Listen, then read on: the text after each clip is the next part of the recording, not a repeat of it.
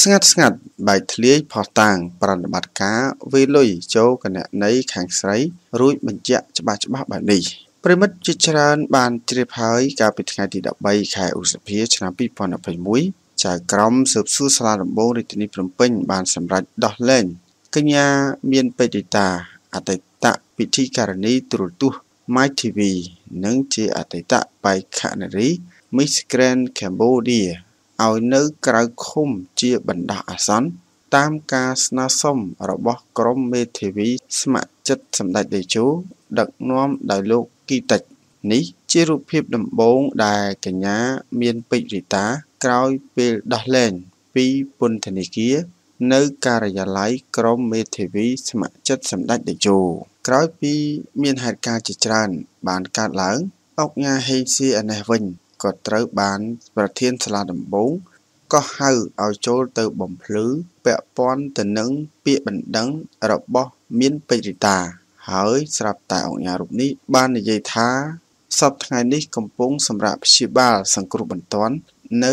ឯមន្ទីរពេទ្យដែលជាហេតុធ្វើឲ្យអង្គការរូបនេះមិនអាចចូលឆ្លើយបំភ្លឺទៅអាយកាអមសាលាដំបងបានឡើយហើយ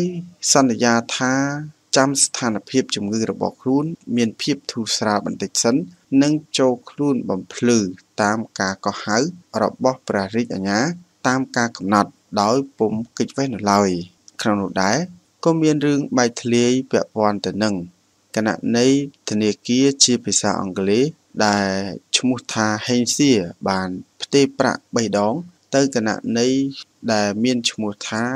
មានពេជ្ររីតាក្នុងនោះមានកំណត់ហេតុដូចខាងក្រោម ទី1នៅថ្ងៃទី1ខែមីនាគណៈនៃឈ្មោះហេងសៀបានផ្ទេរប្រាក់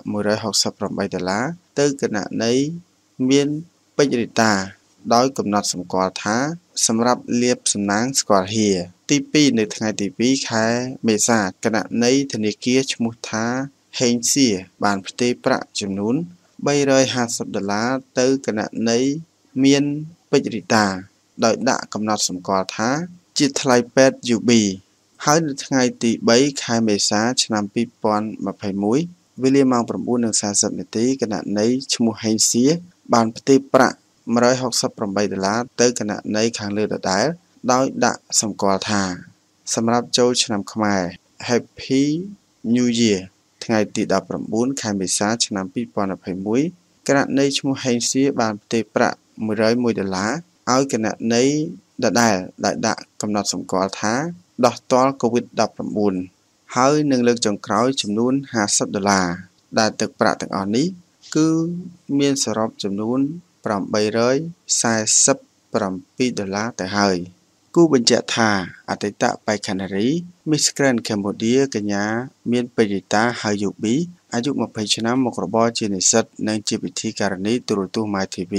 បានសម្រេចដាក់ពាក្យប្តឹងអង្គការហេងសៀពីបទប៉ុនប៉ងរំលោភទ្រព្យសន្តិវៈនៅក្នុងរថយន្តករណីនេះបានកើតឡើងកាលពីថ្ងៃទី4ខែឧសភាឆ្នាំ2021នៅក្បែរផ្សារគីឡូលេខ4ខណ្ឌទូលគោករាជធានីភ្នំពេញបន្ទាប់ពីអង្គការហេងសៀបានហៅទូរស័ព្ទទៅនាងជួបដើម្បីផ្ដល់អំណោយជូននាង ចែកចាយដល់អ្នកកូវីដបន្ត និងហៅឲ្យចូលរថយន្តគាត់ដើម្បីពិភាក្សាការងារចំពោះប្រណិប័តការវេលុយនេះយើងមិនតាន់ដឹងនឹងទទួលបានពីភាគីទាំងសងខាងដូច្នេះសារព័ត៌មានរងចាំស្វាគមន៍ចំពោះការបកស្រាយរបស់ភាគីទាំងពីរជានិច្ចបាទហើយចំពោះអត្ថបទព័ត៌មាននេះដែរខ្ញុំបាទសូមបញ្ចប់តែប៉ុណ្ណេះជួបគ្នានៅវីដេអូក្រោយៗទៀតសូមអរគុណសូមគោរពលា